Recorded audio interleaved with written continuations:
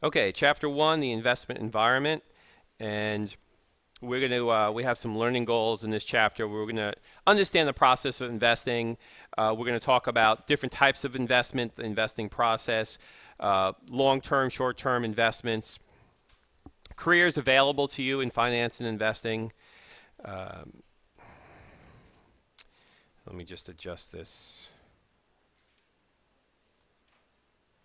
up a little bit the title in there. Okay, so what is an investment?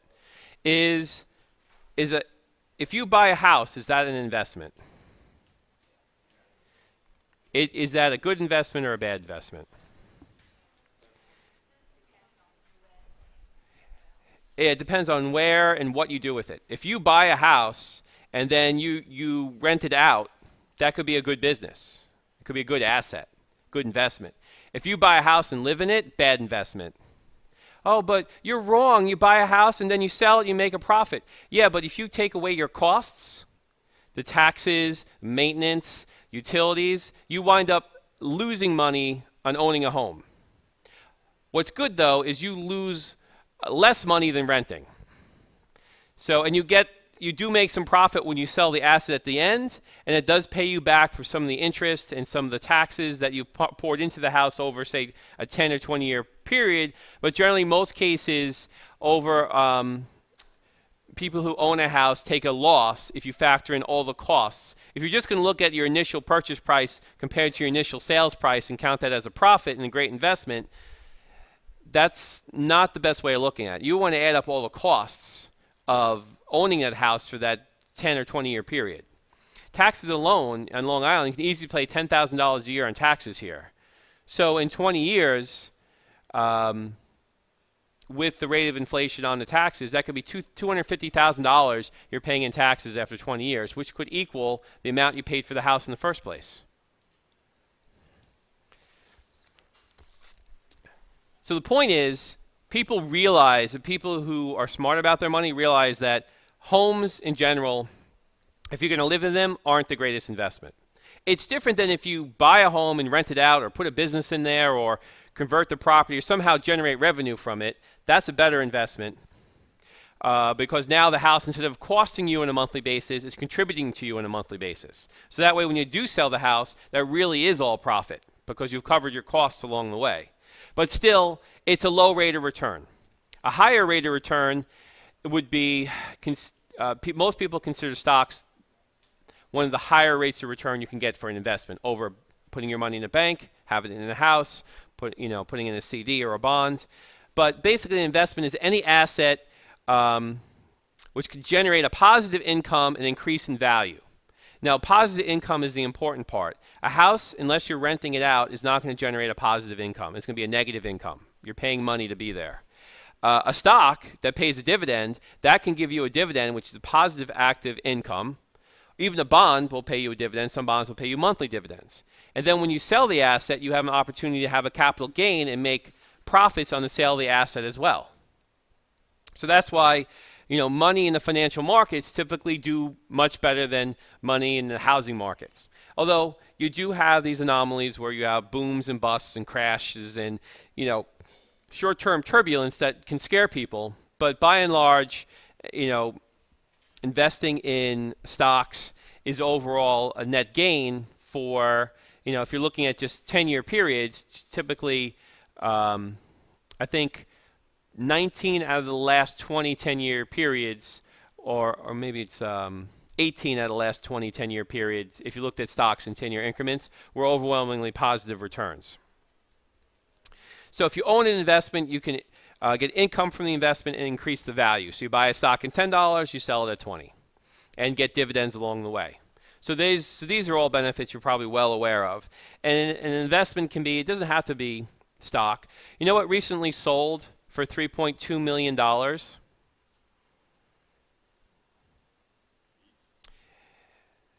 A copy of Action Comics number one. Just last week sold for $3.2 million. So that would have been a great investment if you had, you know, purchased that book um, for a million dollars 10 years ago. It's now worth 3.2. So that would have been a pretty, you know, 200 plus percent return for something that's not a stock or a bond or a house. It's, it's a collectible. Artwork is also a good collectible. So there you can find um, investments in a lot of different areas. Uh, stamps, coins, gold. These are all, you know, many different uh, assets you can own.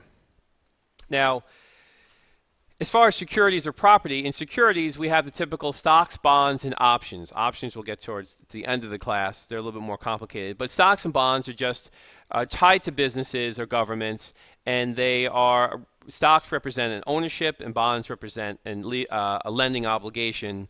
Uh, where you lend the money and they'll give you compensation for that. You know, if we're talking real property, land and buildings, um, buildings are if you have um, an owner of a plaza or an apartment building, those are great assets too because they're generating revenue from uh, renting and they are um, they usually go up in value as well. And it would be, wouldn't it be nice to have own a nice, say, a 16 unit apartment complex close to campus?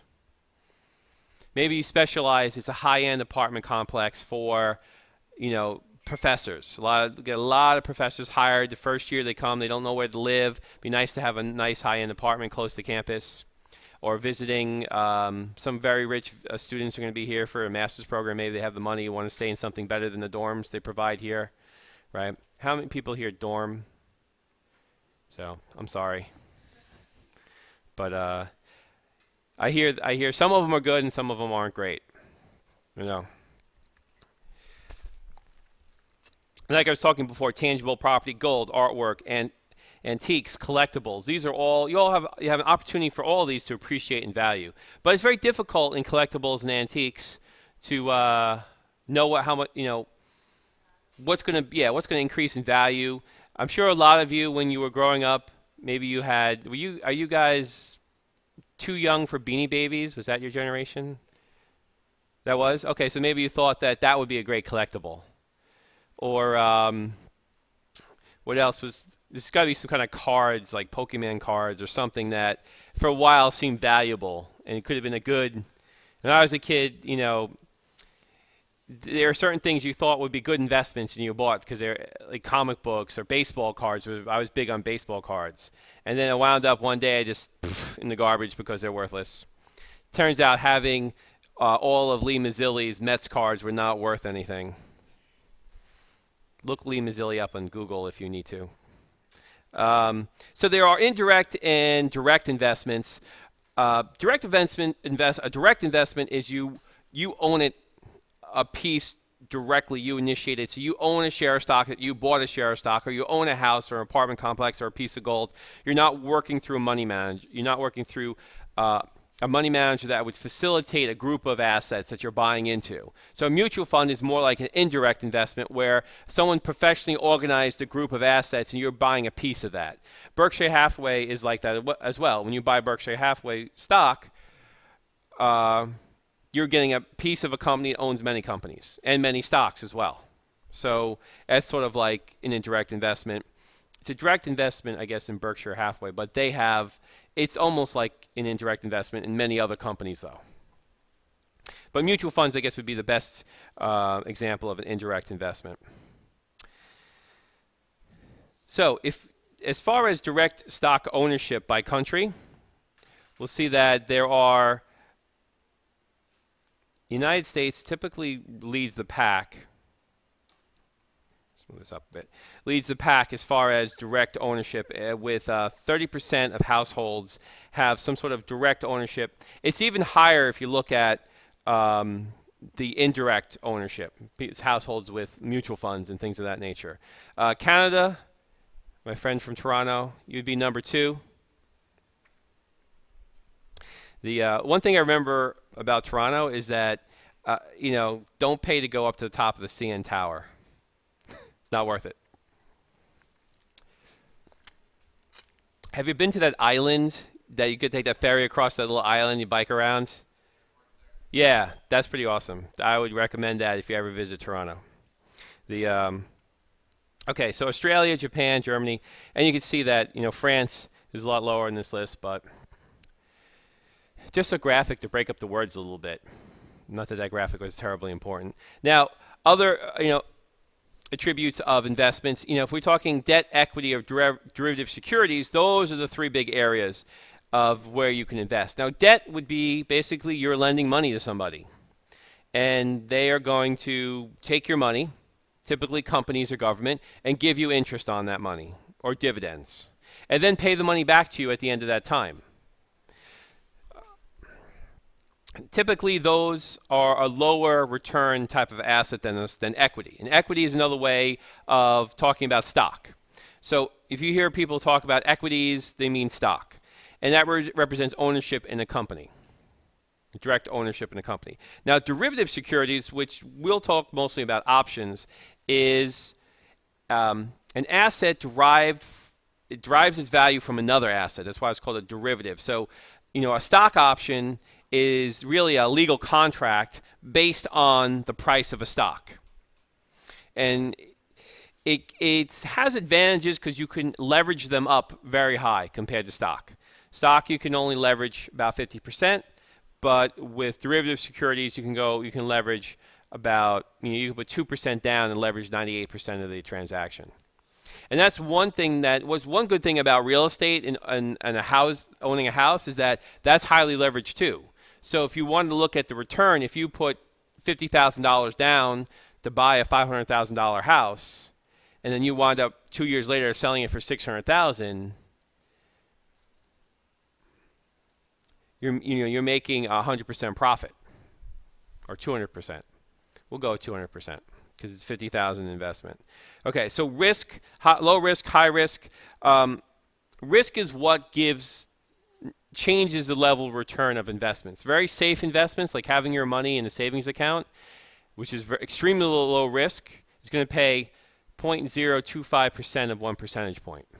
But having your money in a highly risky stock that may have uh, pharmaceuticals um, or bioengineering or solar or some kind of alternative energy stock or battery chargers or electric cars, these are stocks with high risk and generally high potential of return. So it's a risk and return trade-off. So as an investor, you're looking for something with the highest amount of return with the least amount of risk. And the only way to get that is to you know to find it first because once other people find it they'll buy it and drive up the price and the price will be a little bit more uh, um, in, re in relationship to the risk okay and and investing can be in short or long term short term securities or anything that's going to be less than a year so if you had a certificate deposit for six months that's short term if you have anything that's going to mature in under a year. A long term is a maturity date that's longer than a year or doesn't end. You know, so a stock doesn't have a maturity date. It just it can go on forever. Bonds can have a 20 year, 30 year, 5 year maturity dates. Those would be long term. And of course, you can invest in foreign and domestic. And it's and since we're on Canada today, I uh, had some money in Canadian oil trusts back in. Do you remember in in the late 90s, oil was almost free. So these Canadian oil trusts were really, really, really cheap to buy. And I had just had this theory that at some point oil prices are going to go up because there's it's just logic. There's only so much oil and there's a lot of people using it around the world, so this glut of oil has to be temporary. So I had made some investments. I had to wait 10 years though before they really paid off because it took until like 2005, 2007 for the oil prices to really go up dramatically. Uh, if I would have held on to it even longer when oil spiked at one point, I would have done even better. But eventually, those Canadian oil trusts, they they um, dissolved. They were absorbed by other country uh, companies, or they just um, bought their stock off the exchange. So they're which I thought would be a long-term investment. Eventually, they uh, disappeared as well. But what was great about these trusts is that they paid a 10 to 15% dividend a year. So I bought it based on the fact that if I hold it for X amount of years, I'll repay myself the money I invested in these companies. And in that time, if oil prices happen to go up, then I'll make the double profit because they'll be even more valuable because the oil and natural gas, they also had natural gas, prices will go up. So in my mind, there was zero risk in this investment because the dividends would refund me the purchase price uh, of these trusts. And if stock, if oil prices did happen to go up, I could make even more money in the capital gains. So from in my mind, there's no way of losing money because even if, unless they went to zero or, or, out of business within five years, that, and that seemed very unlikely because, you know, gas and oil was still a brisk business. It just wasn't, there's still money to be made. And let me tell you, Canada has a lot of gas and oil. Do you know like the shale oil that we're kind of pumping out of North Dakota? And if you look on the map of the shale, we have like a third, and they actually have two thirds of those reserves up in Canada. If they're not really up, they're not really doing the fracking like we are, because they don't want to frack up their, uh, you know, ecology and um, environment like we're doing.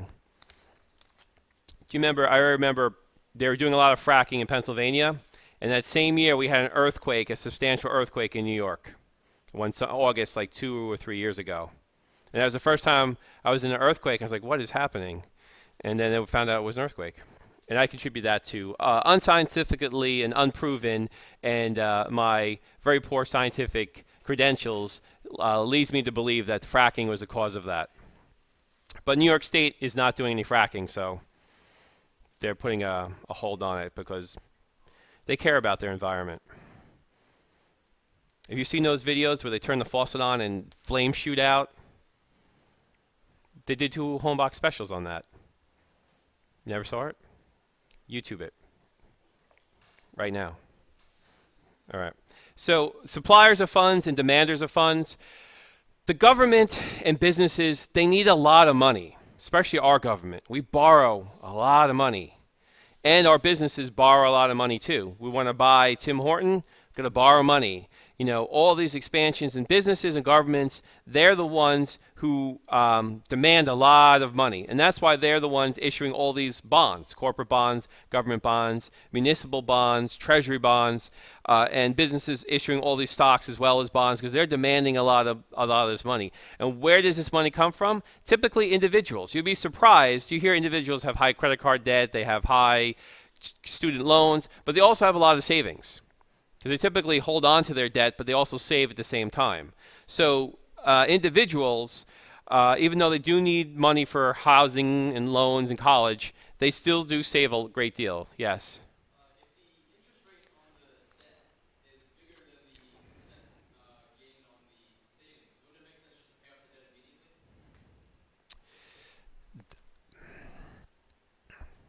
the interest rate on the debt is higher than the savings rate.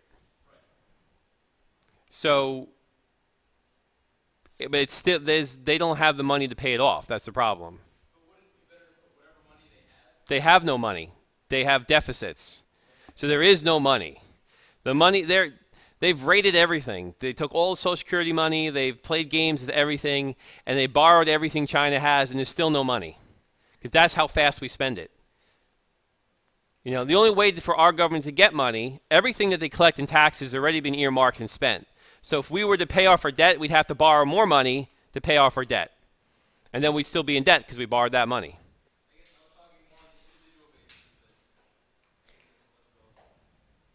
On an individual basis, an individual basis, people need like to have savings. They don't want to take their savings to pay all their debt off because that leaves them in a very vulnerable position.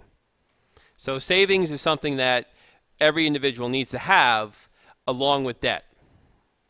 You don't have to have debt, but you generally do have to have savings. So a lot of people don't feel secure taking all their savings and paying off all their debt, being left with zero because they lose their job, now they're on the street. Yeah, which should be which most people should have a 6 months of. All right. Here's a little diagram of basically how the money flows around. So suppliers of money Okay, so you have, we have financial institutions and financial markets. You, as an individual, can't touch the financial markets. You have to go to financial institutions.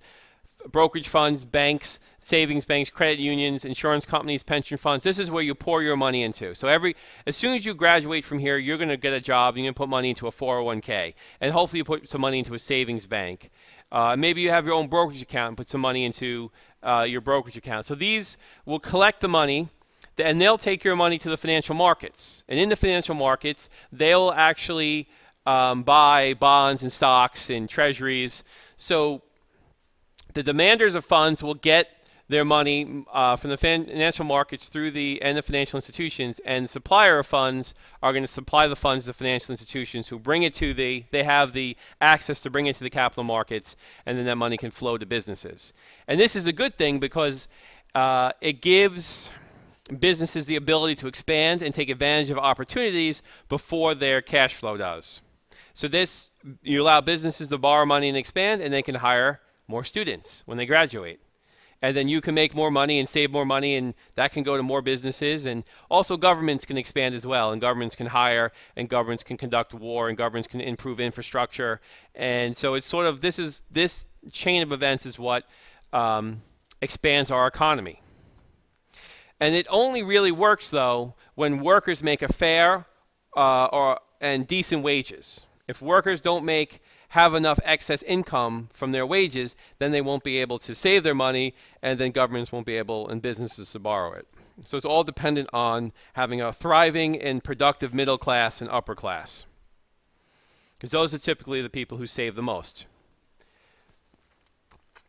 Okay, so types of investors you have uh, individual investors, which are just you and me, individuals who buy and sell stock. And then you also have institutional investors. And these are the money managers that trade in large volumes, work for insurance companies and brokerages and mutual funds and hedge funds and pensions uh, and banks, and they trade on the markets. And banks are actually big traders in currencies and trying to make profits in trading currencies back and forth. And so there are people who are institutionalized and pay, get paid to make trades. And this is the air potential potential area of employment for you that you could be one of these money managers or one of these these people who work for these institutions who facilitate these trades. And they get paid very handsomely. And that's why it's a difficult job to get. They don't just hand those jobs out since the compensation is so great. You definitely have to start out in an entry level position and kind of work your way into it. Um, now, short term investments are less risky and more conservative. And if you have a bank account, you know exactly what I mean. There's no chance that you're really losing money, but you look at your dividends at the end of the quarter and you make one or two dollars. Didn't it wasn't always like that. For the longest time, savings accounts paid five percent interest. You know, and that that was pretty decent.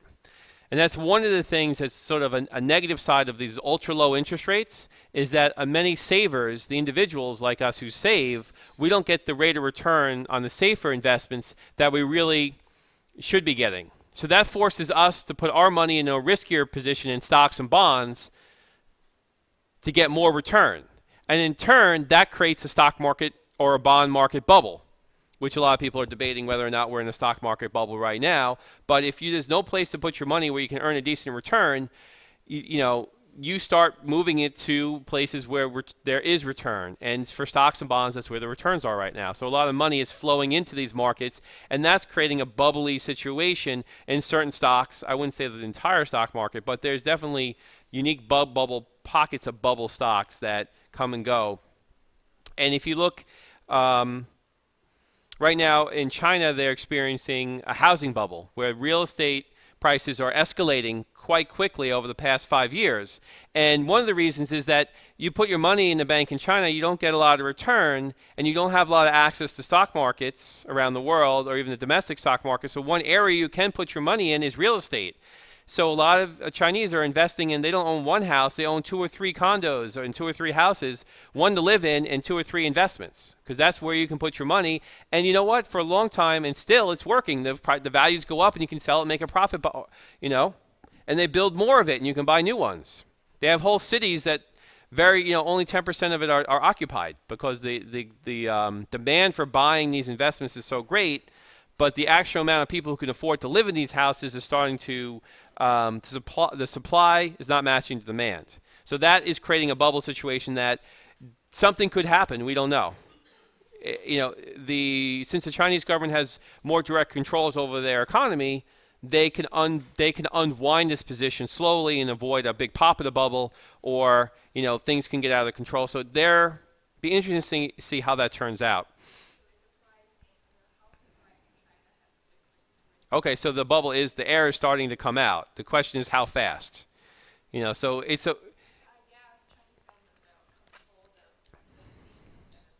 right, and they can control that by uh, putting money in certain areas to encourage it, or you know, so they have a little bit more direct control over their economy than the U.S. government does because a lot of what happens is out of the governmental control over here. So let's, um, for the world's sake, let's hope they unwind that bubble in a reasonable way that not too many people get hurt, uh, you know, or give it a pause so that way the demand can catch up with the growth. Uh, now, common stock is what this class is mostly about: stocks and how to make money in stocks and how to invest. And um, uh, as we go through, I'll show you certain techniques I, I, uh, that are commonly used, that I use, and most people use to look at valuing and, and determining what stocks to buy and invest in. And there are you know many different ways to do it, but I'm just showing you the most common and obvious things you should at least consider before.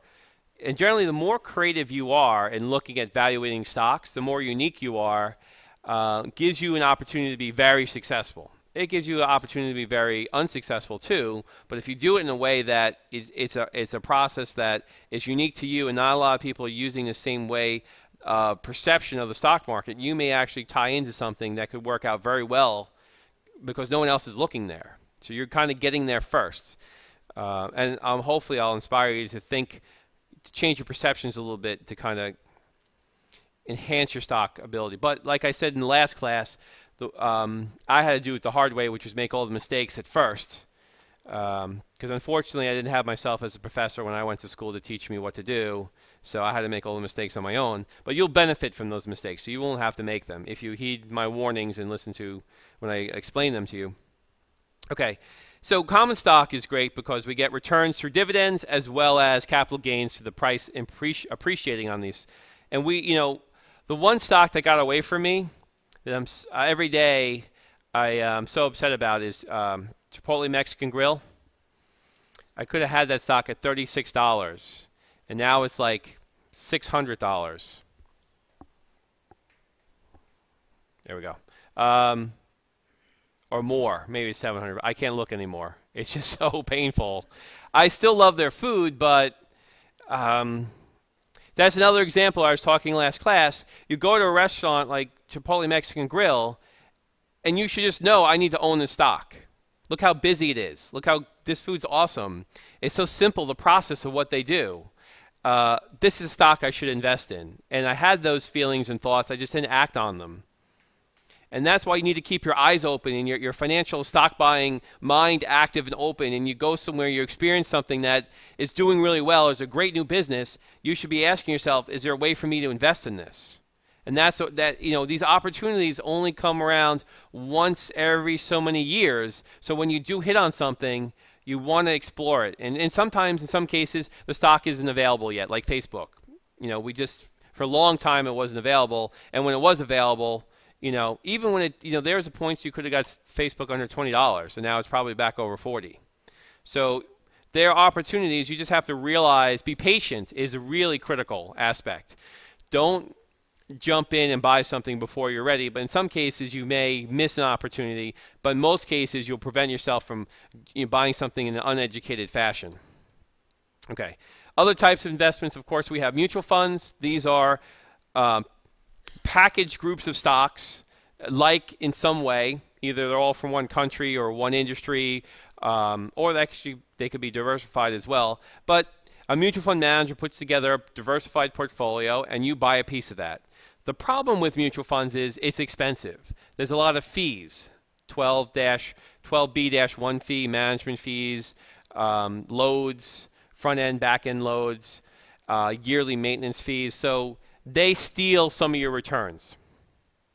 So if you can if you can create your own portfolio of stocks, you could save 2 to 5% a year of your return. So the mutual fund may show a 20% return, but you could have a 25% return if you did it yourself. And that 5% year after year really you know compounds to, to almost doubling your invested retirement dollars by doing yourself rather than going through mutual funds. Exchange traded funds are also like mutual funds, except they're they're typically non-managed and they trade more like stocks.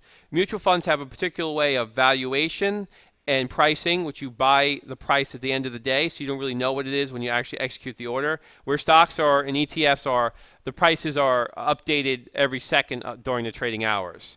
So they have advantages where ETFs you can short, you can put, um, you can uh, put options on. Mutual funds you can't do options with, and mutual funds you can't short. So ETFs are a little bit more flexible. And of course, there's this mysterious yet alluring hedge funds. Everybody wants to know what, what, are, the, what are these hedge funds, Professor Nugent? How can I get a job in a hedge fund? You can't. They want mathematical wizards to work at these hedge funds, not you. You can barely do calculus.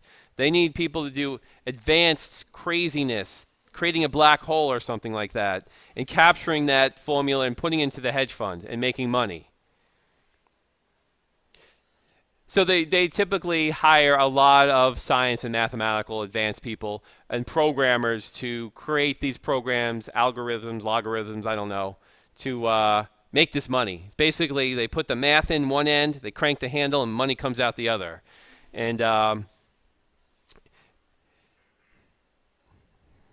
That's the best way I can explain it. But don't worry, you can't even invest in them either. You need to be a qualified, you know, multimillionaire to even, you know, for them to even talk to you, to put your money in there. So until you're a financial success, these hedge funds don't even want to talk to you. Unless you have a million dollars sitting in a savings account or more, they don't even want you can't they don't want your 5, 10, 20, 100,000. They don't even want that. That's like change in their pocket.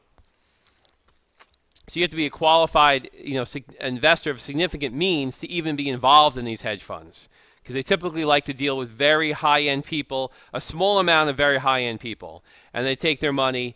And you know what's great about running these hedge funds, though, if you know they get they can keep 20 to 30 percent of the returns of the hedge funds. That's how um, these hedge funds, some of them around here, you know, the owners of them can make a billion dollars in a year because the hedge fund made, you know, five billion and keeping 20% of the returns. It's very easy to be generous when you make a billion dollars a year. See Bill Gates. Uh, a Warren Buffett, in fact, he, Bill Gates and Warren Buffett have this pact with a bunch of other billionaires that promise to give away a majority of their fortune when they die to charities. Uh, Steve Jobs said no to it. They asked Steve Jobs, and he said, "Absolutely not. I'm giving my money away." All right. Derivatives, these are something that is a little bit more advanced for this class, but we are going to talk about options and, and the basics of future contracts. This is sort of at the very end of the class. Um, and of course, real estate, know, the tangibles we already talked about. So this is just, that chart's in your book. Now, you want to get, you want to get involved in investing. You know, that might be one of your goals for taking this class. So the first chapter gives a very brief overview of steps of involved in investing that we continue throughout the course in the other chapters of the book. Number one, you have to meet the investing prerequisites, which means you can't be a loser. You have to have, you know, a job, cover your, your necessities of your life. You can't live in a van down by the river and think you're going to invest in stocks. It's just not a winning combination you have to actually have money saved up that's, you know, going to cover you for your emergencies and your immediate needs and then excess money. So you don't want to use, you don't want to get your student loans and invest them in the stock market. Because actually, you right now are making the, the smartest investment of your life, and that's a college education. This college education that you're paying for right now will I, I would say it would add up to in my own estimates, not the official U.S. News estimates. My own estimates is going to add an extra two million dollars worth of salary to your life by having a college degree, rather than not having a college degree and working at Wendy's. You're not quite McDonald's material, but you're getting there. Okay, so don't feel bad. You're getting there. You know, some new clothes, a new attitude, you know, a smile, and you're you're closer to that goal. But um, but anyway, $2 million, think of how much you're paying for school. That's a small sum compared to this extra $2 million in salary you make over your lifetime. Um, in fact, I didn't want to go to college. And when I was in high school, I got a job working in a factory. Uh, and then after three days of that, I went from being uh, a C plus student to an A student. In fact, the guidance counselor took me into his office and said, I don't really understand what's happening here. You, for two years, you've been a, a C plus student, and suddenly you're pulling in straight A's in every course. How did you do that? And I just said motivation. I said, if you saw these faces in the factory putting together these batteries, believe me, you would spend every it haunted me. Every waking moment i was studying i was trying to get my gpa up high enough so i could make it into college. And then because and then every day in college i didn't miss one college class. I was at every class. It's like yeah let's learn. Like how can i get a job? And like this is your first day of college. That's not a question to ask right now. I don't care. Let's what can i do? I'll take extra classes. I'll read extra books. Just don't put me back in the factory please. So i was extremely motivated to do well.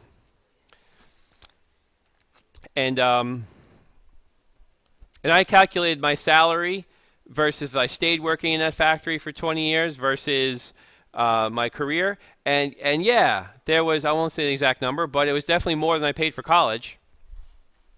Um, so, anyway, step two once you reach step one, you have the money or you have a job. The first most important thing to do, as soon as you get your job after college, you're going to join your 401k plan. And later on in class, I'll tell you how much you contribute to your 401k plan.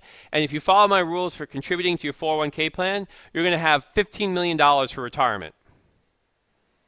But you have to follow my rules. And that first rule is you sign up to the 401k as soon as you get that first job and you're eligible. That's the first rule. Don't think that, hey, I'm 22, I'm pretty young, I can wait till I'm 30 to start contributing to the 401k. You just cut about $7 million out of your retirement by doing that. Okay, step two establish your goals. Um, do you want to accumulate for retirement? That definitely should be a goal. Enhancing your income. How would you like to have enough government and municipal bonds to pay you $5,000 a month tax free? Wouldn't that be awesome? That could be a goal. Um,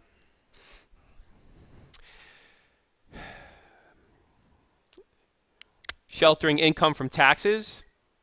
That's a goal for a lot of people. You know, if you don't take advantage of your 401k, any money you put into that 401k is an instant tax deduction and lowers your salary and puts you in a lower overall tax rate. So that's an extreme motivation as well. So there are a lot of reasons to establish and a lot of different investment goals. Um, but you have to understand what they are. Are they very short term or long term? Maybe they're short term, you just want to save and invest, hopefully buy a car. And if you do really well, you'll you'll get that Mercedes, and if you don't do so well, you'll get that Honda. But either way, you're using uh, if you have a financial goal to save up for a car using the financial markets. Okay, three, an investment plan. And these are things we're learning throughout the course, but you should have a plan. Anything you're going to do that's worth doing, you should have some sort of plan. Just like your college career here, you have a plan. You know what classes you need to take, hopefully, and your plan, how many years it's going to take you to graduate. I remember I remember talking um, to like um, someone in college when I was signing up, and they're like, "All right, how many years do you want to be here?" And I said, "Well, how much is my will my financial aid and scholarships carry me for?" And like, "Well, four years." Like, okay, that's when I want to graduate, because uh, fifth year I got to pay for. Uh, no. That's why some students here are very adventurous. Anybody here taking six or seven classes? Raise your hand. Okay, so ready you made if you can handle that load of classes, you made a smart financial decision. Maybe you can graduate in three and a half years instead of four. Save a semester of dorm fees, and is that the plan? Okay, whatever. All right. After you have a plan and you can understand your risk tolerance, then you could think about evaluating different investments. So this is how much, this is my plan of where I want to be.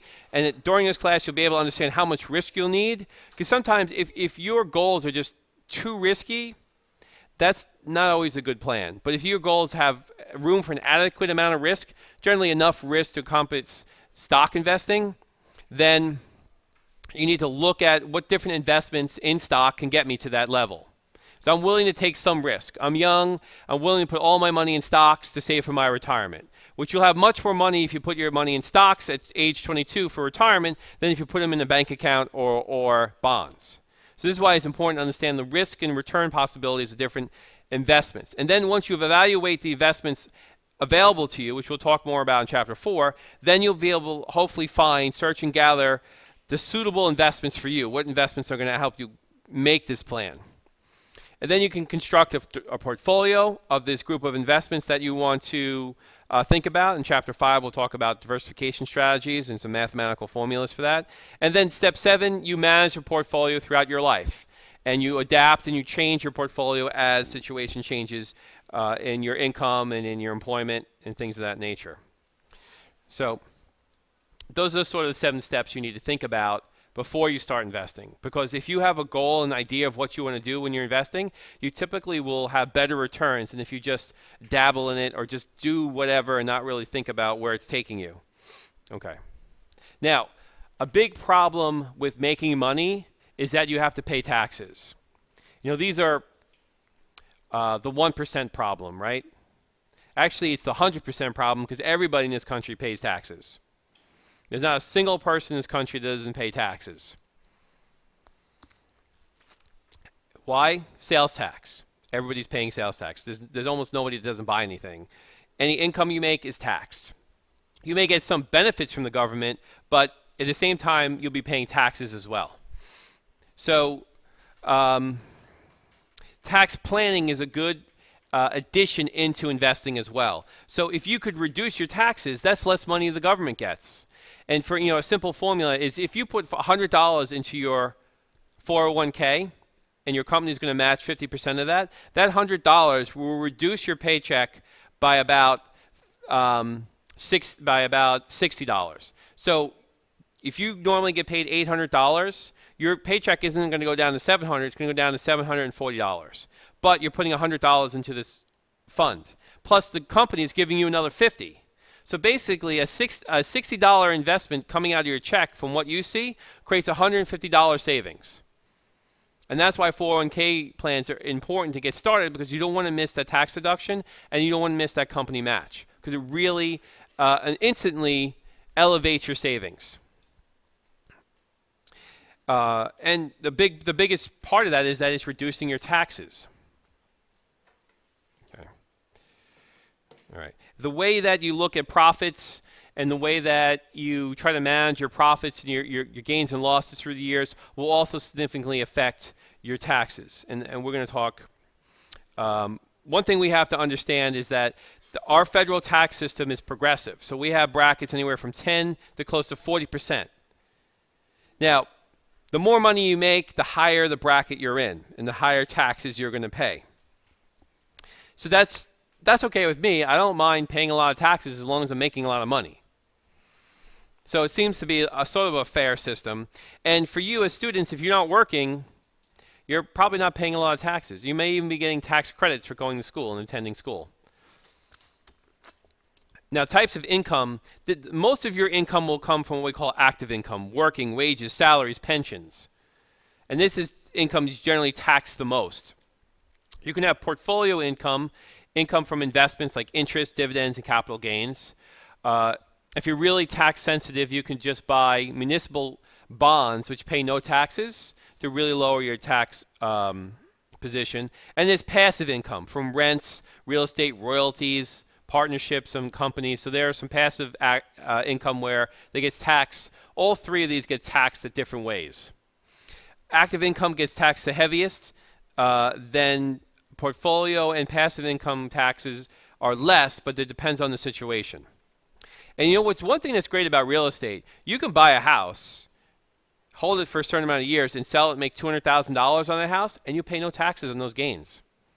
So real estate, if you, if you have the timing right, is a tax-free gain, which is a significant benefit for investing in real estate. That's something that they don't publicize too often, but right now, if you sell a house to make a huge capital gain, you don't owe any taxes on it. You don't even have to report it on your on your uh, income taxes. Okay. Here are the tax brackets. You're going to ask me this. Do I need to memorize this for the test? No. I wouldn't have you memorize something like this. But you could see that, say, when you graduate, you're sure to be in this 25% bucket, meaning making between 35 to 85%.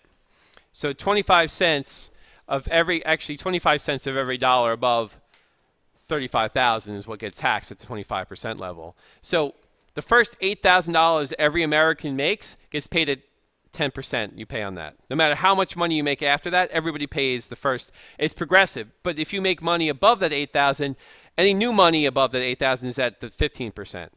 Any new money above 35,000 is going to be taxed at so 35,349 that last dollar you only pay 15 cents on. But the next dollar you earn, this $1 here, this 51, you're now paying 25 cents on that dollar. So it's a progressive tax system. Um, so we all get treated equally. It's just as we make more money, the new money gets taxed at a higher rate. And this is something in the next class, just I'm not ending class as I said, but in the next class, we'll be doing that by hand. I'm actually going to show you how to have a certain income and understand how the tax breaks down. Now, uh, this is the last slide for the day. Ordinary income, active portfolio and passive income is considered ordinary and it can contribute to a um, being taxed taxed in the progressive tax area. Now, capital gains or losses will be taxed differently. If you have a capital gain and you have you don't make a lot of income and you have a capital gain that's long term, you can have a very low tax responsibility for that capital gain, sometimes as low as 5 or 10 percent. Uh, and if you have a capital loss, if you buy a stock and take a loss on it, so you say you have a $3,000 loss on the stock, you can deduct that from your taxes. So your actual loss may only be 2000 because the government will give you some of that lost money back as a tax reduction. So losses at the casino are permanent.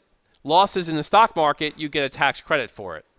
So it does help cushion the blow of, of some of the losses you made. But there are limits on the capital loss as well as there are limits in the capital gain. But a, a, capital asset, stocks and bonds, if you buy at a low price and sell at a high price, that's how you generate this capital profit.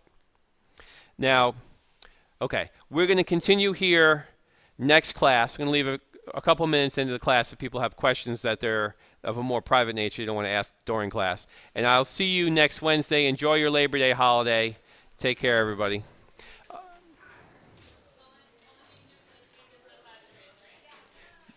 Correct.